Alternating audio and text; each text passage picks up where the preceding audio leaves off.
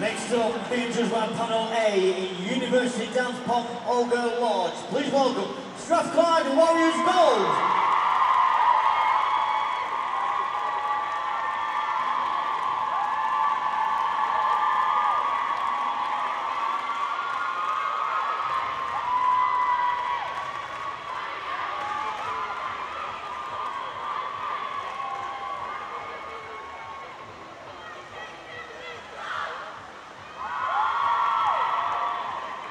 Thank you.